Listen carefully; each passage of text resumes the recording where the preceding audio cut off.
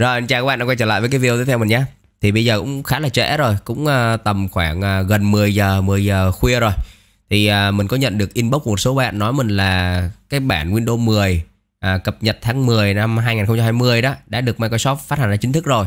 Thì uh, các bạn nói mình là làm video để test thử coi xem như thế nào. Uh, Chia sẻ các bạn cái cách uh, tải cũng như cài đặt Xem là nó có khác gì hay không Và nó có bị lỗi nghĩa gì hay không thì à, bây giờ mình sẽ tiến hành là mình tải và mình cài thử cho các bạn xem xem là như thế nào các bạn nhé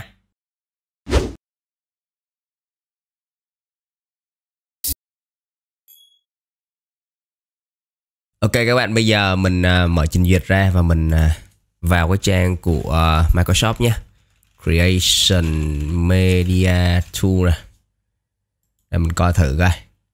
Đây các bạn. Xem là đã có bản mới chưa nha đây Windows 10 October 2020 update đây. Ok 2020 update rồi mình sẽ tải kiểu này đi. Các bạn bấm vào đây này nha. Tải kiểu này đi xem là nó có hay không nha. Uh, iPad Pro Đây cho cái độ phân giải nó lên lên tí. Đây các bạn.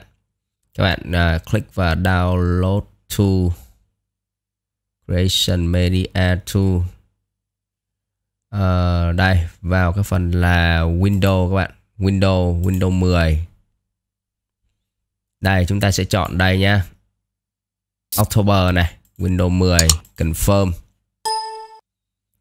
Rồi choose Cái bản uh, English International này. Confirm nha Rồi mình sẽ tải cái bản 64 bit các bạn download Ok, cái việc còn lại là chúng ta chờ các bạn nhé Chờ để tải xong các bạn này đã 5.7 ghi lận Khá lâu đấy, chờ một tí các bạn nhé Ok các bạn thì sau khi mà nó tải xong thì mình có một cái file ISO Windows 10 20H2 English International 64 bit như thế này. Đó. Bây giờ mình à, trên máy của mình á, mình có cắm một cái USB có chứa cái bộ cứu hộ Ampere đây này. Thì à, mình sẽ khởi động máy lại và mình sẽ cài lại Win cài mới sạch sẽ hoàn toàn 100% luôn, chứ không có cài theo kiểu update các bạn nha. Đó, bây giờ mình sẽ khởi động máy lại và mình sẽ sử dụng cái bộ cứu hộ Ampere để mình cài từ cái file ISO đấy, cài như vậy là nó sạch sẽ và nó an toàn. Đây, bây giờ mình sẽ tiến hành là mình khởi động máy lại. Các bạn chờ một tí nha. Đây, khởi động máy lại đây.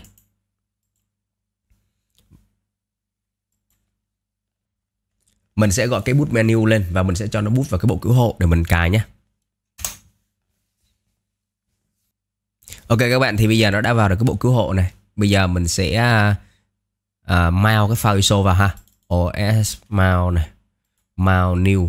Mình sẽ mount cái file ISO vào và mình cài. Như thế này cho nó an toàn và nó sạch sẽ 100% các bạn nhé Không có update update gì hết. Đây Windows 10 Windows 10 20H2 đây các bạn nhé Đó rồi open ra này. Rồi mình sẽ ấn OK. Và exit cái này mở cái này ra, gọi file setup lên cài các bạn. Đây, gọi file setup lên. Đó. Next. Install now.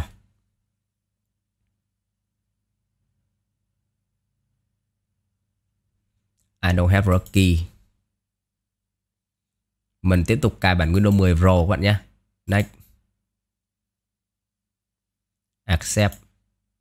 Next. Advanced rồi, mình xóa tất cả những cái uh, partition này đi đi để mình cài cho nó sạch sẽ nha. Những cái partition ở trên cái à, ổ SD của mình ấy, mình xóa hết để mình cài mới lại cho nó sạch sẽ. Rồi, về một ổ duy nhất rồi này. Next. Ok, bây giờ ngồi chờ nó cài các bạn nhé. Cài xong chúng ta sẽ coi thử xem là nó có gì hay hay không ha.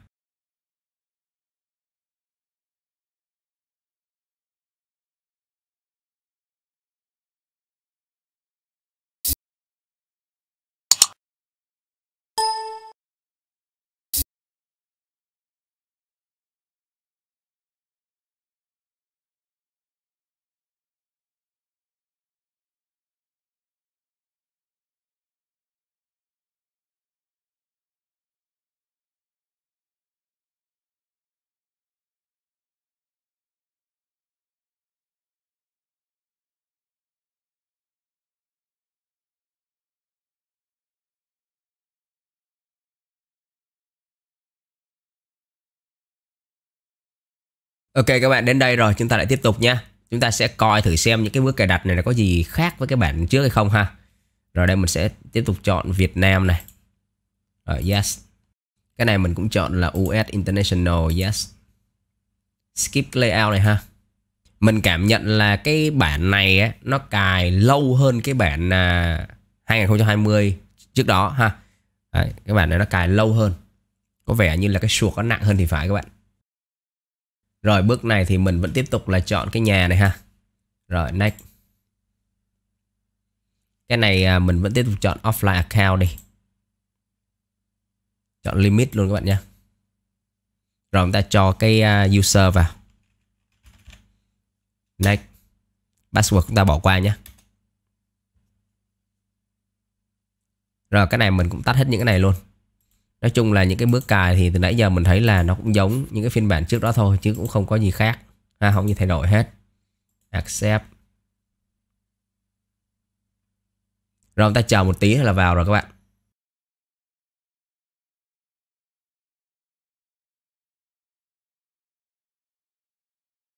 Ok các bạn nó đã cài xong rồi các bạn Vừa cài xong một phát một nó vào là nó đã báo lên cái trình duyệt mới ha Microsoft Edge mới à, đây là một cái điều mà rất là mới ở trên cái bản này mà Microsoft người ta cũng đã đề cập với chúng ta. Rồi các bạn chờ một tí để cho nó nhận cái driver đấy nhá. Tí nó sẽ chớp chớp cái màn hình nó nhận driver đã. Ok các bạn mình chờ nãy giờ thì mình chờ nãy giờ thì mình không có thấy là nó chớp cái màn hình nhận driver giống như những cái bản Windows 10 khác. Những cái bản Windows 10 khác cài vào xong một phát là nó nhận các mạng. Cái bản này nó cũng nhận các mạng luôn này. Nhưng mà nó không có tải driver về nó cài vào. Những cái bản kia là vô một phát là nó download driver về là nó cài driver card màn hình là chớp đen chớp đen nhẹ nhảy liên tục thằng này không thấy gì hết. Rồi mình sẽ thằng cho này maybe later đi. Tính sau ha. Rồi mình coi thử xem là nó có download driver về không nhá. Đây expand này lên này. À, uh, all setting wow. Wow trên những cái bản trước á, nếu mà bạn nhập cái uh, tài khoản mà local account vào á, thì nó sẽ không có cái uh, account của bạn nằm đây nha. Trừ khi mà bạn đăng nhập vào tài khoản Microsoft á, thì nó mới nằm đây thôi. Thằng này có đây luôn. Cái này có một, uh, một cái mới à, một cái mới đấy. Update này coi xem có đăng tải về hay không. No update available các bạn. Check for update coi xem là có download driver về không nhá. Không có driver là vỡ mõm luôn đấy. Rồi tiện thể đây mình sẽ kiểm tra driver luôn nhá. Ô oh, một núi driver rồi các bạn một núi driver này bây giờ mới tải về. Đây driver cả hình này bảo đảm tí sẽ chớp đen thui này. Đây device manager nha đúng rồi chưa nhận driver chưa nhận driver các bạn nhé vậy là nó không tự nó nó không tự nó tải về mà chúng ta phải check các bạn nhé chúng ta phải check để cho nó tải về. Mình nghĩ cái này chắc là Microsoft người ta làm cái này để uh, uh, những cái cải thiện cái ờ, những cái trên những cái bản trước là nó cứ tự động tải về. Đó, đen thui, đó, chớp đen, các bạn thấy không? Chớp đen đang nhận rồi cả khẩn cứ để cho nó nhận đi các bạn nhé đó, nhận rồi đấy các bạn. Nhận rồi đó. Đã nhận driver cả khẩn rồi đó. Ok. Đã nhận rồi. Đó đang nhận driver cả khẩn rồi các bạn nha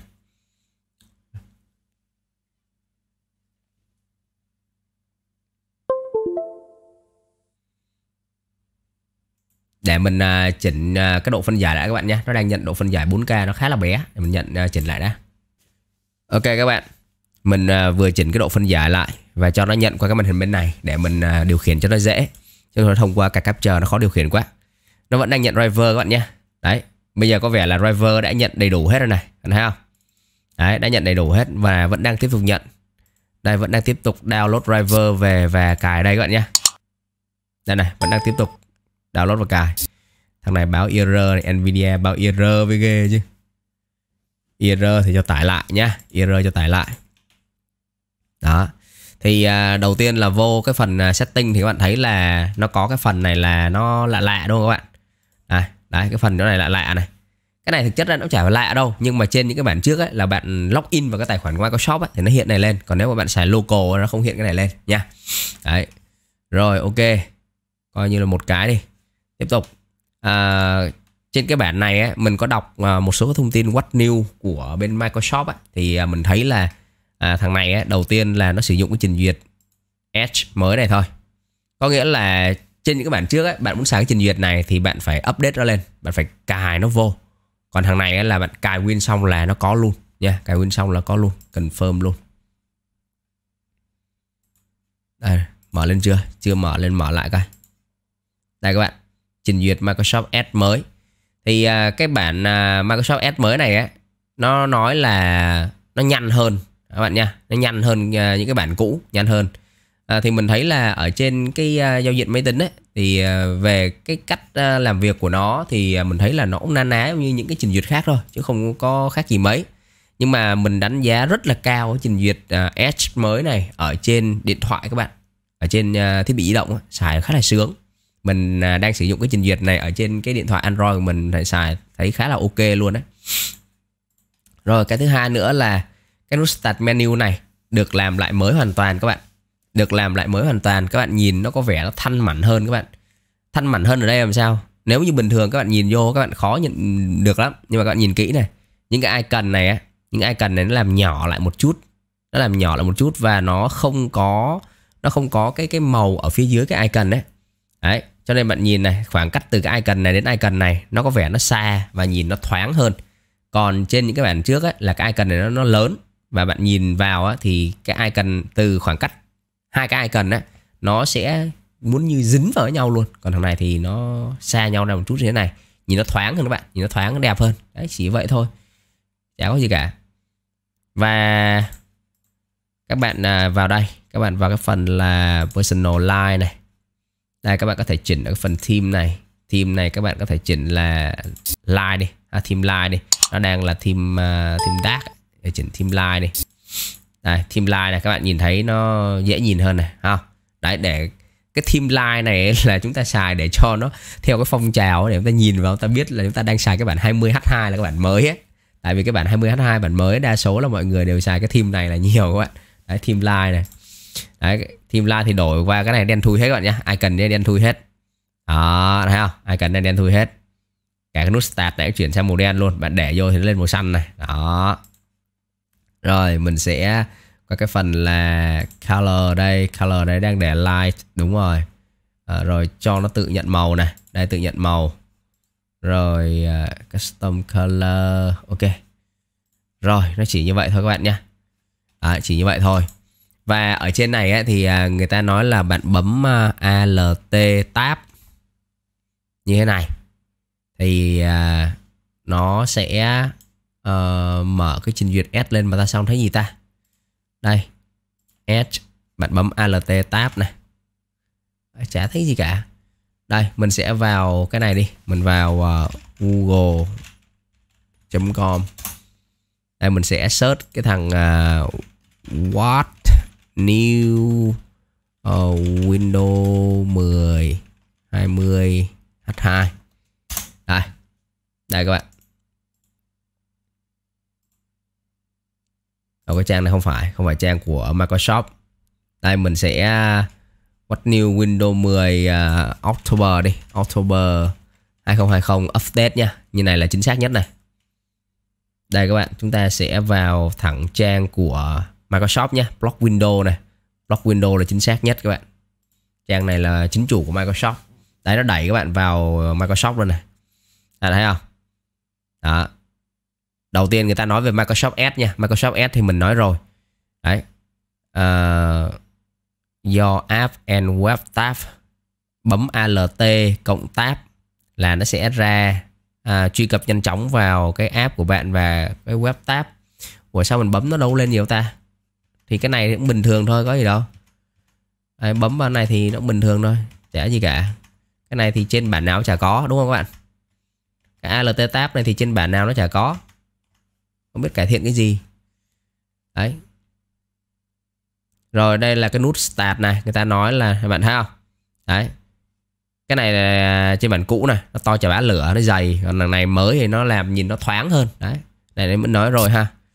Đấy còn cái này là về những cái tính năng uh, dạng như bổ sung thêm và hotfix đồ này kia thì những cái này mình sẽ nói sau nhé mình sẽ nói trong những cái video khác chi tiết hơn.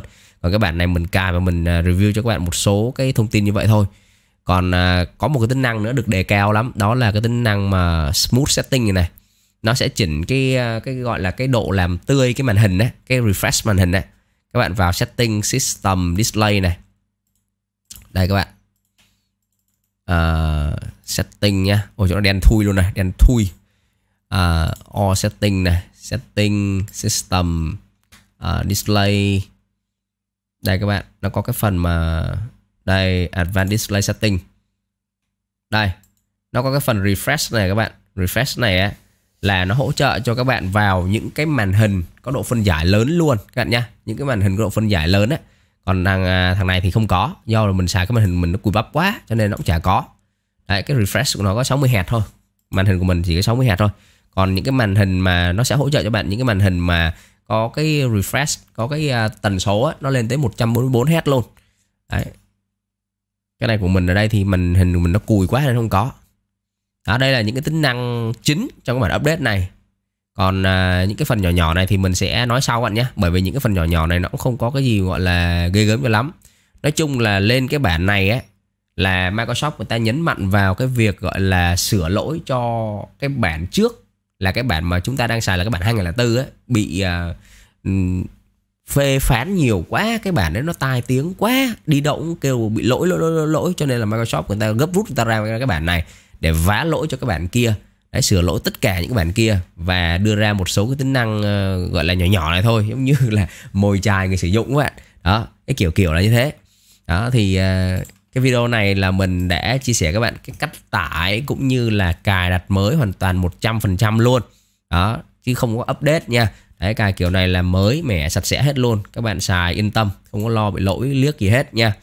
Đấy giờ driver là đã nhận đầy đủ hết rồi các bạn. Đấy, driver nhận đầy đủ hết rồi cho nên là không phải lo gì hết nói chung là cái bản này á đây này mình cho các bạn coi lại cái uh, file ISO của nó nha đây sau khi cài xong nè. Sau khi cài xong thì ổ C của mình là nó chiếm bao nhiêu ta? 32.6 GB bản 64 bit ha 32.6 GB nhận đầy đủ driver luôn rồi đó. Rồi à, coi lại cái task manager nhé đây task manager này. Task manager chạy khá là êm bạn ha chạy rất là êm luôn thì cái này mình không biết có phải là do cấu hình của mình nó đã mượt mà rồi hay chưa nhưng mà các bạn thấy đó chạy rất là êm nha. Đấy, không có bị uh, gọi là cái nặng nề hết. Rồi đây là cái file ISO của nó đây. Coi là cái file ISO này 20H2 bạn thấy không? 5.9 g các bạn. Đấy. Khi mà property lên này là 5g7 nhưng mà các bạn coi ở đây này 5g9 coi như 6g luôn cho cái bản 64 bit.